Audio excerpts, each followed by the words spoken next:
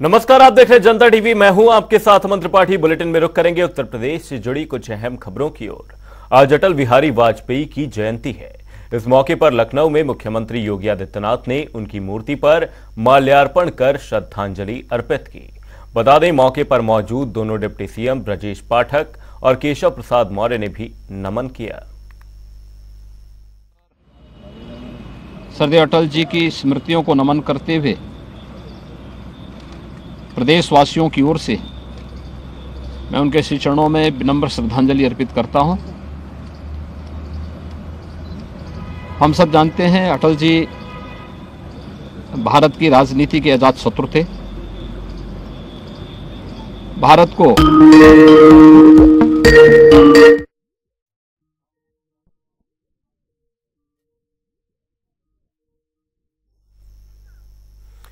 आज अटल बिहारी वाजपेयी की जयंती मनाई जा रही है। सीएम योगी ने इस दौरान माल्यार्पण किया है। अटल जी को इस दौरान श्रद्धांजलि दी गई है। मान उन्होंने रखा था। और यही कारण है कि आज पिछले साढ़े नौ वर्ष से प्रधानमंत्री मोदी जी के नेतृत्व में भारत ने विकास, सुरक्षा और सुशासन के जो नए प्रतिमान स्थापित किए इसकी आधारशिला सरदेव अटल जी ने अपने शासन काल में रख दी थी। आज का दिवस सुशासन दिवस के रूप में भारतीय जनता पार्टी भी और सरकारें भी आयोजित कर रही हैं। सदैव अटल जी का स्मरण कर रही हैं। और जिन मूल्यों और जिन आदर्शों के लिए सरदेव अटल जी ने अपना जीवन जिया था, उन मूल्यों और उन आदर्शों के प्रति पूरी प्रतिबद्धता के साथ लग करके कार्य करने का संकल्प भी ले रही है। सदैव अटल जी का यह वर्ष जन्म शताब्दी वर्ष की शुरुआत भी है। हम सब जानते हैं कि 25 दिसंबर 1924 को मध्य प्रदेश के ग्वालियर में सदैव अटल जी का जन्म हुआ था। लेकिन ये उन्होंने अपनी कर्म भूमि के रूप में तो उत्तर प्रदेश को चुना ही। साथ साथ शिक्षा भी उन्होंने उत्तर प्रदेश में अर्जित की। और उत्तर प्रदेश से उनका लगाव आगरा जनपद के बटेश्वर उनकी पैतृक भूमि के रूप में जानी जाती है। इन एक वर्ष के अंदर सरदेव अटल जी की स्मृतियों को जीवंत बनाए रखने, उनके जीवन के हर एक उस पक्ष को, जिसने समाज और राष्ट्र को एक नई दिशा दी है। सार्वजनिक जीवन में स्वच्छता और पारदर्शिता कैसे होनी चाहिए, इसके लिए प्रशासन की दक्षता को बढ़ाने के लिए जहाँ सरकार नई दिशा में प्रयास करेगी, वहीं साथ ही साथ साहित्यिक क्षेत्र में अटल जी की स्मृतियों को जीवंत बनाए रखने के लिए भी सरकार अलग अलग प्रकार के कार्यक्रम ग्राम पंचायत स्तर से लेकर के प्रदेश स्तर तक,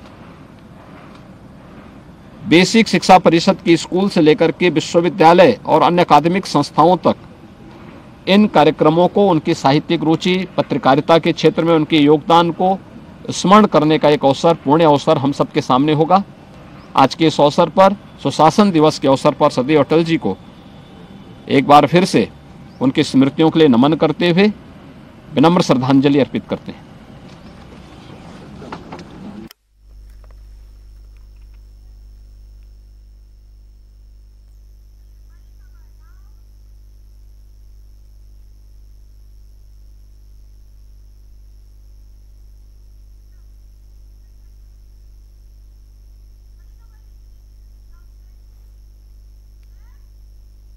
बुलेटिन में आगे बढ़ेंगे, रुक करेंगे एक बड़ी खबर की ओर, बड़ी खबर, बड़ी जानकारी। आगरा से इस वक्त की बड़ी खबर सामने।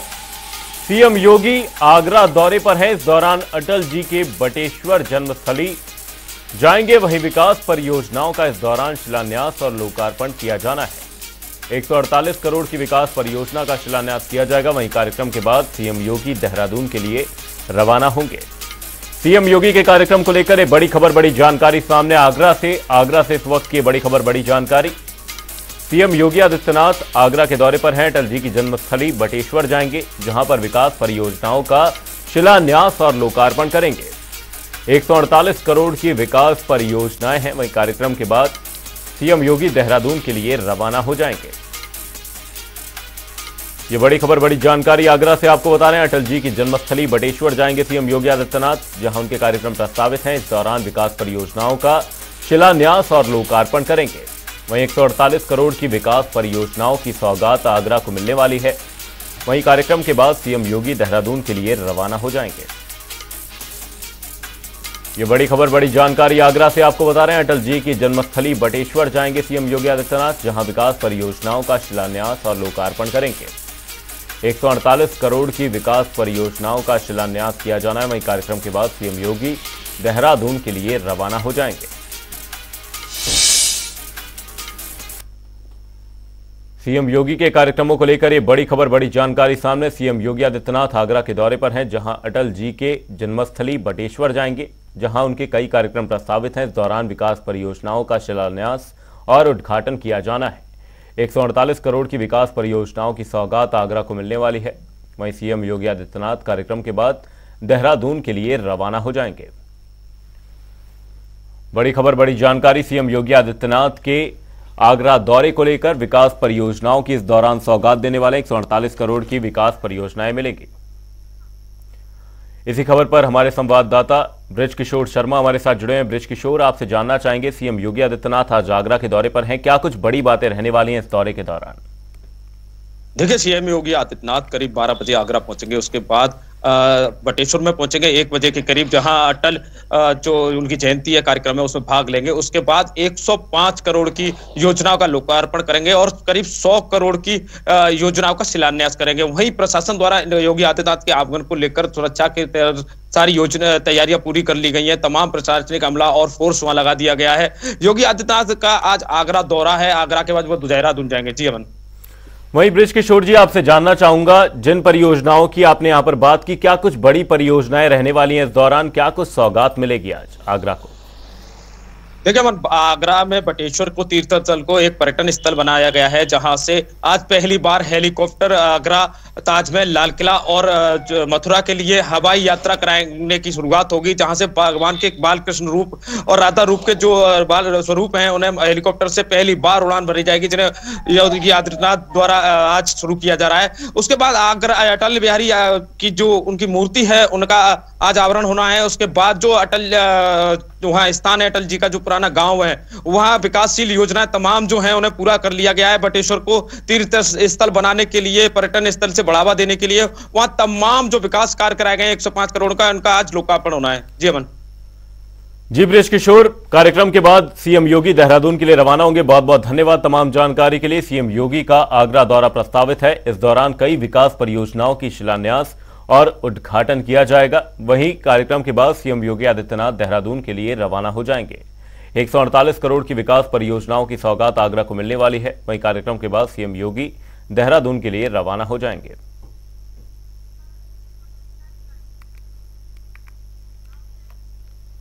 केंद्रीय राज्य मंत्री अनुप्रिया पटेल ने जन संवाद मेले की शुरुआत की, जिसमें ज़िले के हुनरमंद उत्पादनकर्ताओं के उत्पादों को राष्ट्रीय बाज़ार मिलेगा मेले में कारोबारियों को लेकर ज़बरदस्त उत्साह देखने को मिला। 400 से ज़्यादा रजिस्ट्रेशन किए गए।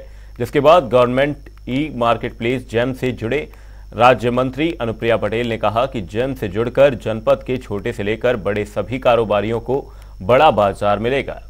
साथ ही उत्पादों को भी उचित दामों पर खरीदा जा सकेगा। भारत सरकार के वाणिज्य और उद्योग मंत्रालय के अधीन कार्यरत हमारे जेम ने एक बहुत बड़ा प्रयास जनपद मिर्जापुर के लिए किया है। ये जैम संवाद मेला जो आयोजित किया गया है, इसके माध्यम से हमारे जनपद के जितने भी पीतल के व्यवसायी हैं, जितने भी चीनी मिट्टी का पात्र बनाने वाले पॉटर्स हैं, कुम्हार हैं, या हमारे बलुआ पत्थर के शिल्पकार हैं या कालीन दरी बनाने वाले बुनकर हैं, स्वयं सहायता समूह की महिलाएँ, हमारे फार्मर प्रोड्यूसर ऑर्गेनाइजेशन लकड़ी के खिलौना बनाने वाले कारीगर, इन सभी को हमने एक मंच दिया है।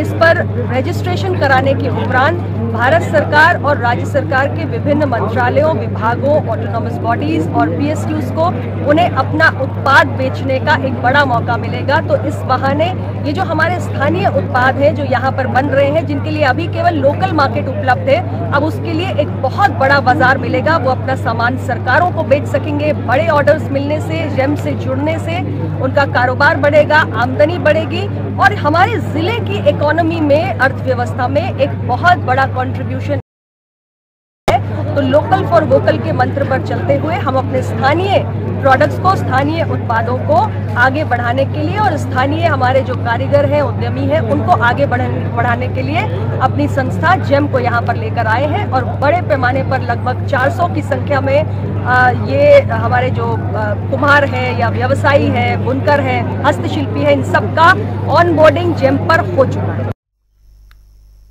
कैबिनेट मंत्री ए के शर्मा शाहजहांपुर पहुँचे, जहाँ वे अलंकरण समारोह में शामिल हुए। इस दौरान मंत्री ने कहा कि बिजली बकाया ओटीएस योजना का 31 दिसंबर तक लाभ ले सकते हैं। साथ ही कहा कि यूपी में रिन्यूएबल एनर्जी बढ़ाने पर पॉलिसी तैयार है। सहकारिता राज्य मंत्री जेपीएस राठौर गाजीपुर पहुँचे, जहाँ वे एक निजी होटल में सहकारिता विभाग की तरफ़ से आयोजित कार्यक्रम में बतौर मुख्य अतिथि के तौर पर शिरकत करते नज़र आए। इस दौरान मंत्री ने कहा कि प्रदेश के सारे सहकारी समितियों में सुधार हुआ है। साथ ही मंत्री ने कहा कि 2024 में इंडिया गठबंधन घवंडिया गठबंधन है, स्वार्थ का गठबंधन है।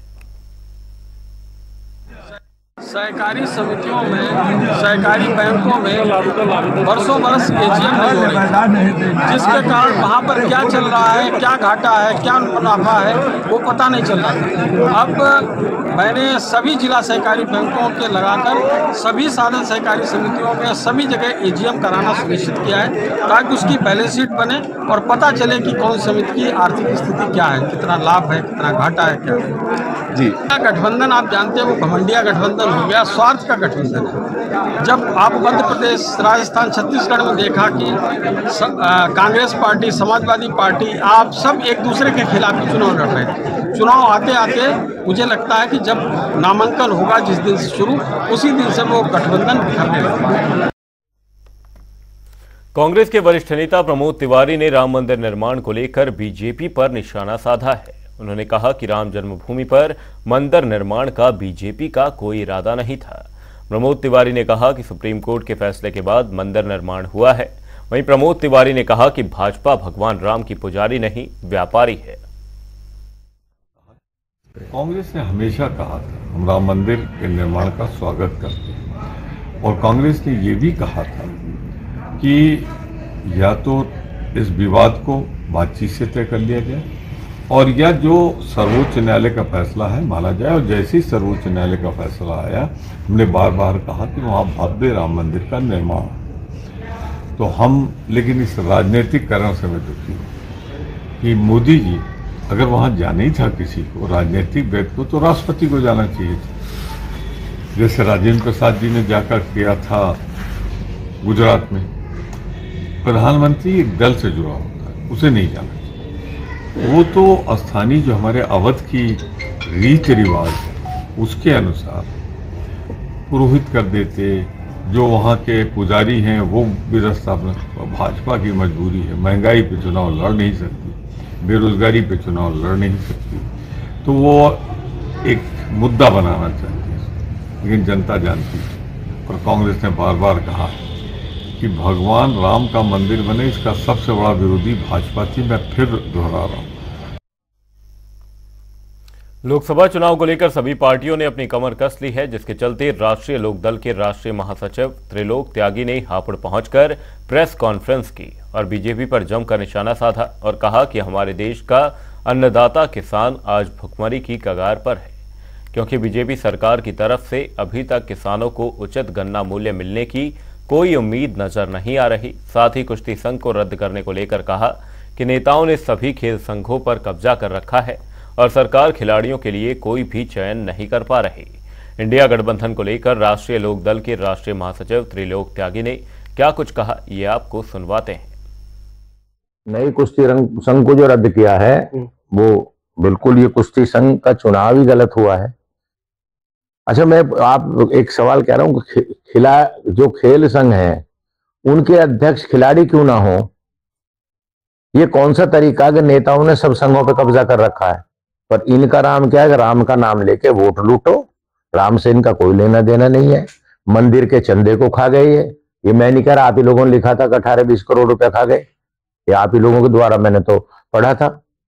तो जो मंदिर का चंदा खाती हो पार्टी चंदा लोग देश की जनता ने दिया हो और ये उसको खाते हो ये राम का इन्होंने एक अपना वो कर लिया क्या बोलते हैं जिसको कब्जा कर लिया राम पर। ये तो कोई बहन जी ने तो इच्छा ज़ाहिर करी नहीं है शामिल करने की तो हम कहा शामिल कर लेंगे? जब आपकी इच्छा होगी तभी तो मैं बात करूँगा आपसे। अब आप कहोगे मैं लोक दल में काम करना चाहता हूँ तो मैं कहूँगा आइए आपका स्वागत है। कोई अपनी इच्छा ज़ाहिर करेगा तो उस पर बात होगी जब किसी ने इच्छा ही नहीं ज़ाहिर किया तो कैसे हम कह सकते वो तो इंडिया इंडिया और एनडीओ को बराबर मान रही है। अब जो इंडिया को और एनडीओ को बराबर मानेगा तो उससे हमारी दोस्ती कैसे होगी? ना उन्होंने इच्छा ज़ाहिर की है, वो कोई बयान दे कि इंडिया बेस्ट है, इंडिया अच्छा है, इंडिया खराब है। रामनगरी अयोध्या में भव्य राम मंदिर का निर्माण कार्य जारी है। प्राण प्रतिष्ठा की तारीख अब ज़्यादा दूर नहीं है। 22 जनवरी को प्रभु श्री राम वहीं विराजमान होंगे, जहाँ उनको देखने के लिए श्रद्धालु सदियों से इंतज़ार कर रहे थे। राम मंदिर के निर्माण कार्य का पहला चरण पूरा हो गया है। वहीं इसकी नक्काशी और अद्भुत आर्किटेक्चर ने लोगों को मंत्रमुक्त कर दिया है। अब भव्य राम मंदिर के निर्माण कार्य की नई तस्वीरें सामने आ गई हैं, जिसमें देखा जा सकता है कि मंदिर के मंडप का कामकाज पूरा हो गया है। ये तस्वीरें राम मंदिर ट्रस्ट की ओर से जारी की गई हैं।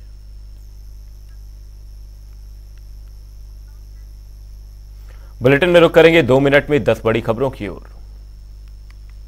क्रिसमस के मौके पर गाजियाबाद में दिखा कोहरा, लोगों को हुई भारी परेशानी, सड़कों पर लगा जान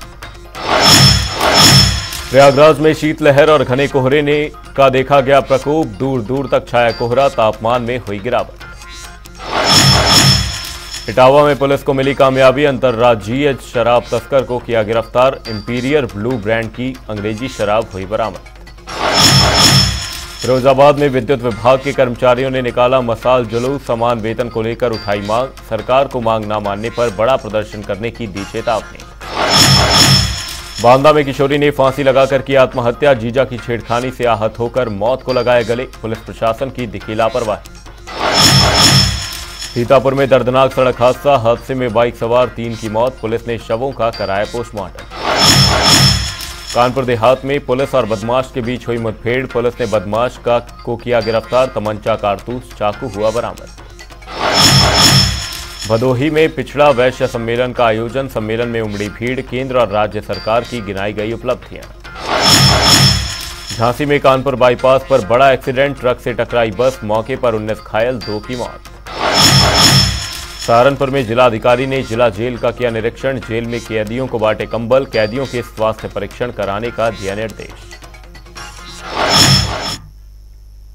बुलेटिन में फ़िलहाल के लिए सिर्फ़ इतना कहीं जाएगा नहीं, जनता डी पर खबरों का सिलसिला रहेगा जारी। तब तक के लिए नमस्कार।